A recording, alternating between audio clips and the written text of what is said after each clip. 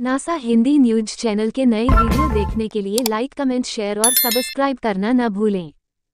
बृहस्पति ग्रह पर भेजना चाहते हैं, अपना नाम? नासा दे रहा मौका, फटाफट करना होगा ये काम। नासा अपने एक मिशन यूरोपा क्लिपर मिशन को लॉन्च करने की तैयारी में है। इस मिशन के तहत अंतरिक्ष में भेजा जाने वाला स्पेसक्राफ्ट दो दशमलव नौ अरब किमी की यात्रा करेगा। आप चाहे तो इस स्पेसक्राफ्ट पर अपना नाम लिखवाकर बृहस्पति तक भेज सकते हैं। अंतरिक्ष तक सफ़र करना हर किसी के लिए मुमकिन नहीं, लेकिन आप चाहे तो आपका नाम ज़रूर अंतरिक्ष तक पहुँच सकता है। ये मौका आपको नासा देने जा रहा है। दरअसल नासा अपने एक मिशन यूरोपा क्लिपर मिशन को लॉन्च करने की तैयारी में है।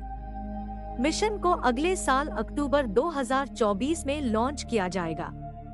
इस मिशन के लिए जिस स्पेसक्राफ्ट, यूरोपा क्लिपर स्पेसक्राफ्ट को बृहस्पति तक भेजा जाएगा। उस पर आप चाहे तो अपना नाम लिखवा सकते हैं।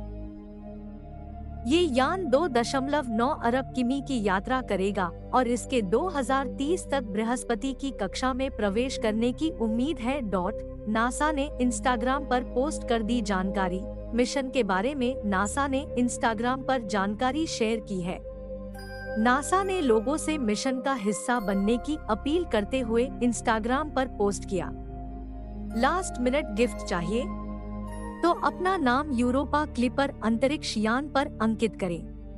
हम अपने यूरोपा क्लिपर अंतरिक्ष यान पर नाम डाल रहे हैं, जो एक दशमलव आठ अरब मील, दो दशमलव नौ अरब किमी की यात्रा करेगा।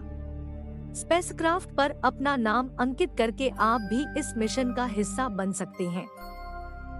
नाम भेजने की आखिरी तारीख 31 दिसंबर, प्रोजेक्ट का नाम message in a bottle, message in a bottle है। नाम भेजने की आखिरी तारीख 31 दिसंबर है। नाम भेजना बहुत आसान है। आपको बस इस लिंक पर क्लिक करना होगा। लिंक पर क्लिक करने के बाद आपको नाम, ईमेल एड्रेस, देश का नाम और पिन कोड सिलेक्ट करना होगा। बृहस्पति ग्रह के लिए रवाना होने वाले स्पेसक्राफ्ट में अमेरिकी कवि एडा लिमोन की एक कविता भी लिखी होगी।